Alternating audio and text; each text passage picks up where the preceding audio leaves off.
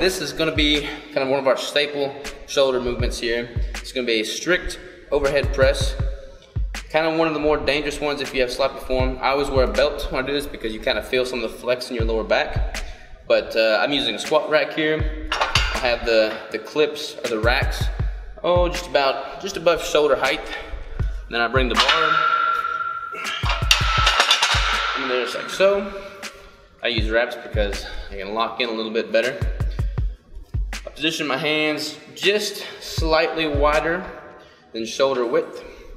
And then when I'm ready to perform the movement, I get up underneath it.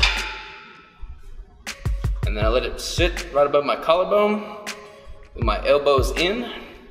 And then I go straight up, kind of like pivot my whole body forward so it's in line with my spine.